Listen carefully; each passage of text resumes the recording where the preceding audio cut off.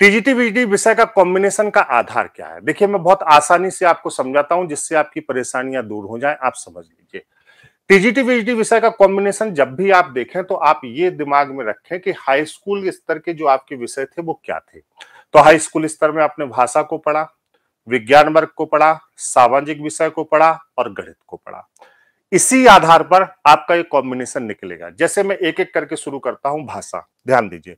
भाषा में सबसे पहले हिंदी की बात कर लीजिए। अगर भाषा, देखिए, टीजीटी को हम लोग क्या कहते हैं बताइए? टीजीटी जो है, टीजीटी और पीजीटी प्रवक्ता है, ठीक है? टीजीटी को हम लोग देखते हैं कि स्नातक में अगर आपको हिंदी से टीजीटी देना है तो प्रशिक्षित स्नातक, टीजीटी, हिंदी से अगर आपको टीजीटी देना है तो स्नातक में आपका हिंदी तो होना ही चाहिए, लेकिन हिंदी के साथ साथ आपका संस्कृत भी होना चाहिए, चाहे वो फ़र्स्ट ईयर में रहा हो, चाहे वो सेकेंड ईयर में रहा हो और चाहे वो फाइनल में रहा हो।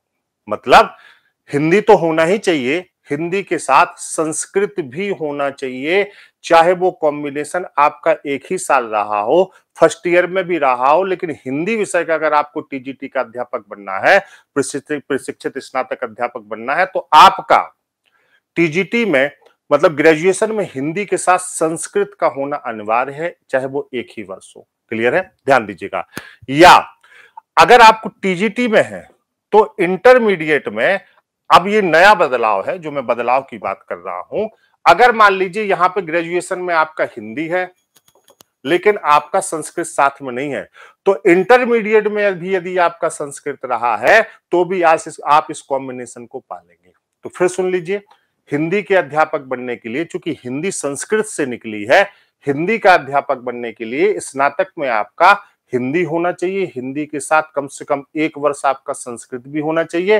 हिंदी भी कैसा होना चाहिए? भले केवल फ़र्स्ट ईयर में हो, सेकेंड ईयर में ही हो, फाइनल में आपने छोड़ दिया हो तो भी हिंदी माना जाएगा। और हिंदी के साथ संस्कृत हो या इंटरमीडिएट आपका संस्कृत से रहा हो तो भी आप पीजीटी के अध्यापक बन सकते हैं। पीजीटी वाले भी ध्यान देंगे बेटा। पीजीटी अगर आप हिंदी से देना चाहते हैं तो हिंदी से पीजी तो होना ही चाहिए, लेकिन बीए में एक वर्ष संस्कृत आपका होना अनिवार्य है। अगर आप पीजीटी भी दे रहे हैं पीजीटी भी दे रहे हैं तो पीजीटी में भी आपको पीजी में हिंदी तो होना ही चाहिए, लेकिन बीए में संस्कृत आपका एक विषय के रूप में होना अनिवार्य है। इतना बेटा आपको यहाँ पे ध्यान रखना है। ये बात क्लियर हो गई। तो हिंदी में तो अब कोई दिक्कत नहीं होगी। मैं विषयवार बता देता हूँ। दूसरा, इंग्लिश। इंग्लिश अपने आप में पूर्ण विषय है, इसके साथ कोई दिक्कत नहीं है। और संस्कृत भी अपने आप में पूर्ण विषय है, इसके साथ भी कोई दिक्कत नहीं है। है, ये देखिए नंबर है। इन नंबर्स पर आप प्रातः से शाम तक कॉल करके प्रवेश सुनिश्चित करा सकते हैं। ठीक है? और ये व्हाट्सएप नंबर है, इस पर एंट्री सब्जेक्ट लिख के आप भेज दीजिए। डिस्क्रिप्शन में टेलीग्राम है, उसको चुन लीजिए। ज्वाइन कर लीजिए और ये हमारे बैच की विशेषताएँ हैं। और मैं इतने आत्मविश्वास से इसलिए भी दहाड़ता हूँ, है ना? क्योंकि मुझे अपनी टीम पर पूरा भरोसा है। मैं डंके की चोट पर कह सकता हूँ, इतनी दक्ष टीम कहीं नहीं है। आप महसूस करेंगे इसको, है ना? और जितना हम लोगों ने कहा है, उतना हमेशा किया है। इसलिए मुझे ये कहने में कोई दिक्कत नहीं कि मैं जो एक एक शब्द कह रहा हूँ, वो अक्षर सा शब्द सा पूर्ण होगा, ये मेरा आपसे वादा रहा। और जो है आप सभी लोगों को अनंत शुभकामनाएँ हैं। और भी जो आपके प्रश्न होंगे, आप भेज दीजिएगा। तीन चार दिन बाद में फिर एक सारे प्रश्नों का सेट बना के लाइव करके आप लोगों को कोशिश करूँगा कि उसका जवाब दूँ, है ना? तो ये हमारी तरफ़ से आज की जानकारियाँ थी।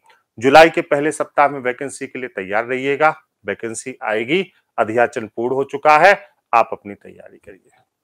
Thank you so much. Love you all आप सभी से अपार स्नेह और प्रेम है। मुझे पूरी आशा है कि अगले तीन से चार दिनों में आप सभी लोग संस्थान से जुड़ जाएँगे। फ़ीस ज़्यादा नहीं है। फ़ीस ज़्यादा नहीं है बेटा। गुणवत्ता के आगे फ़ीस बहुत बौनी है। एक बार निर्णय लीजिए। देखिए, न किस्मत बदल जाए तो बता thank you so much love you all आज मेरी तरफ़ से इतना ही। नमस्कार।